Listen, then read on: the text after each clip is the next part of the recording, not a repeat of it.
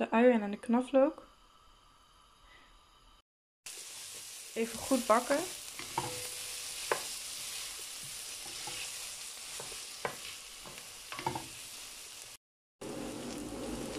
Nu voeg ik de champignons eraan toe. Voeg ook wat tijm eraan toe.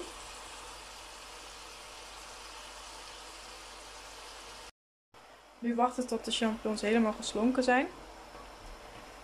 Voeg ik er nog een klein beetje boter aan toe.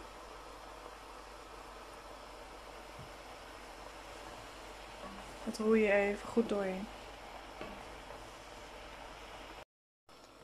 Wat bloem.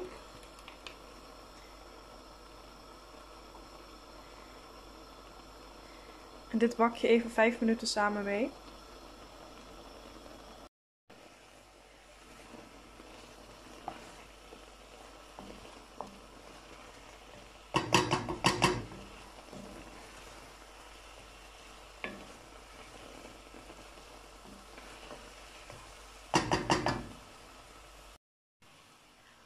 Gekookt water.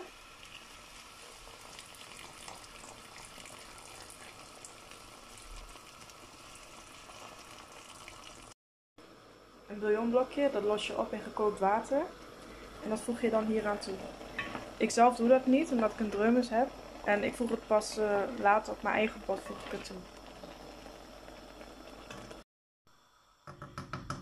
Nu laat ik het 10 minuutjes even koken. Nu ga ik er heel eventjes met de staafmixer doorheen. Echt heel kort.